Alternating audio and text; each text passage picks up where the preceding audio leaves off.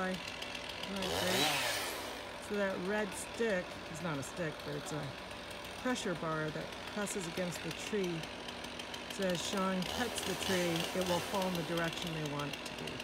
Of course, he's going to make an angle cut on the other side to allow the tree to fall in that opposite direction from where I'm standing. And that red pressure bar is going to push the tree over. After they're done, we're going to limb the tree and move the tree aside. And they're going to take their masticator and chew up the branches and the stump.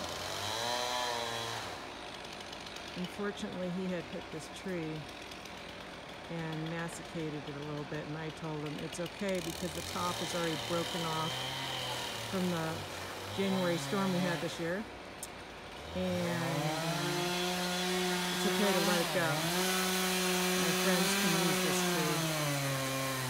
So it's a cedar tree, really beautiful one, but Mother Nature decided to take it out.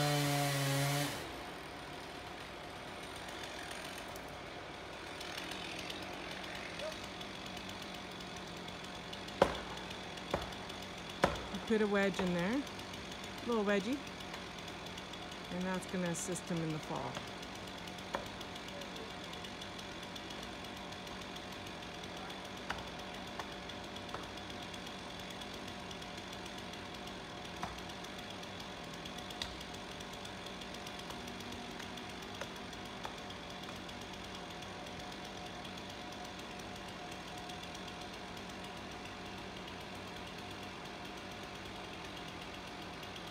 That's Shawn, and the guy in the orange shirt is Jeremy.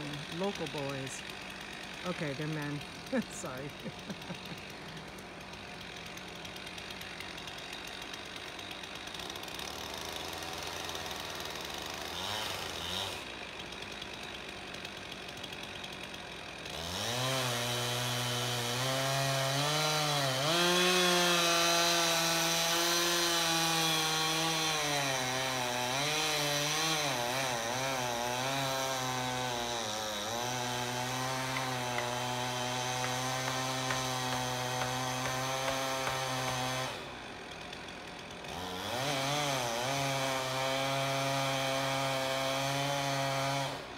Jeremy had put another there. I don't know if you could see, it's kind of orange.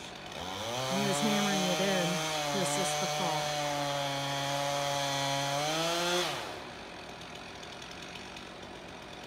Now he's cranking on the red thing. Here it goes.